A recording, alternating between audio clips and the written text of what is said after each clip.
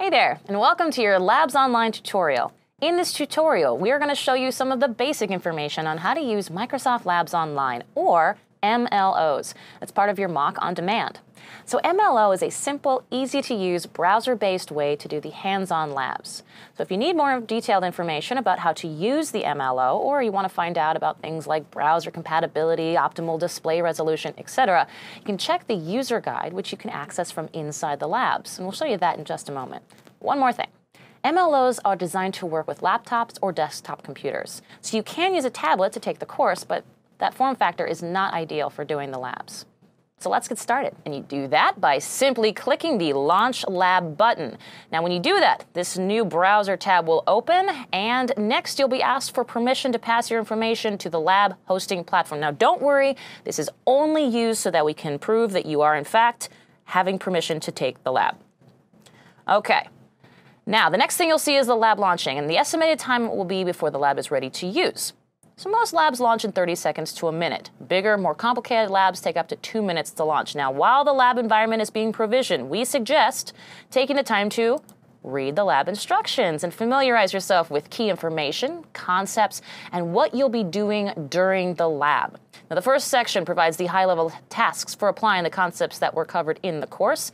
The detailed lab answer key, located in the final section, provides the detailed step by step instructions. Those are very, very important.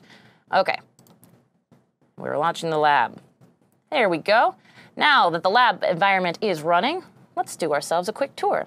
So the main area of the lab view has the actual VM or the virtual machine environment. This is the computer screen you'll be working on and displays the desktop of each of the computers in the lab.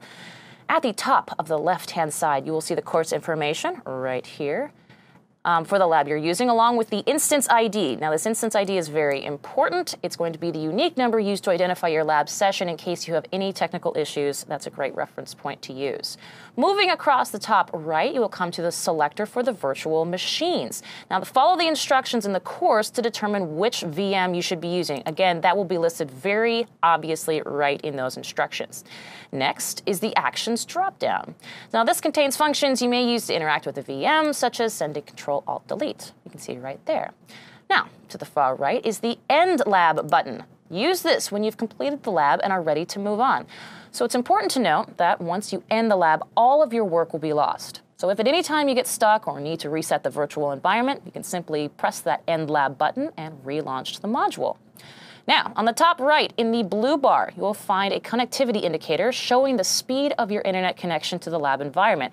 You can click this drop down arrow to see the actual speed. Let's try it now and refresh. Excellent.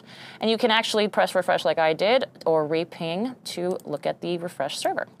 Lastly, at the far right of the blue bar is the Files dropdown, which gives you access to the user guide we mentioned before. Right there is user guide. Now, this is the detailed documentation of all the features and functionality of MLO.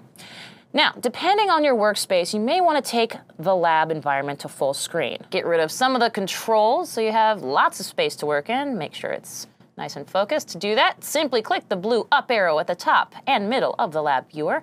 When you're ready to see the controls again, just click that down arrow. Bam. The last thing we like to call out is the support link at the bottom of the page. Now, in it, you will find FAQs as well as the Contact Us link, which provides access to the MLO technical support team. Okay, so this is a great time to remind you that most of the issues users encounter occur when the lab steps are not followed correctly. So make sure you review all the information in the high level lab scenario as well as each lab answer key before contacting support. So a technical issue might be the lab desktop failing to show, but that rarely happens, so take the time to double check the lab steps before contacting support. Okay, well that's it. MLOs are really that simple. The only thing left to do is to follow the lab steps in your course and do a lab. So thanks for taking the time to watch this video, and thank you for choosing MOC On Demand.